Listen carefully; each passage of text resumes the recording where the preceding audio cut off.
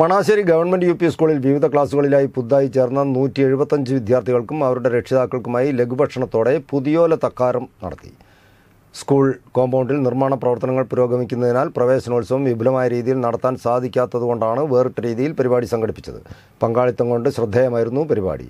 മുക്കം നഗരസഭാ chairman P T Babu അധ്യക്ഷത വഹിച്ച ചടങ്ങ് തിരുവമ്പാടി നിയോജക മണ്ഡലം M L A Linto Joseph ഉദ്ഘാടനം ചെയ്തു. യൂണിഫോമും പുസ്തകവും അടങ്ങിയ കിറ്റ് വിതരണോദ്ഘാടനവും എം എൽ എ നിർവഹിച്ചു. Kunnamangalam B P C Manoj master രക്ഷിതാക്കൾക്കുള്ള ബോധവൽക്കരണ ക്ലാസ് നയിച്ചു. തുടർന്ന് കെ ആർ മുക്കം അവതരിപ്പിച്ച മാജിക് ഷോയും അരങ്ങേറി. Mukkam A O Deepthi T D P O P N Ajayan P T A president Rajagopalan C പ്രധാന അധ്യാപിക K P Babisha S R G convener Arathi Pushpangadan staff secretary Shanmukhan K R തുടങ്ങിയവർ പരിപാടിയിൽ സംബന്ധിച്ചു.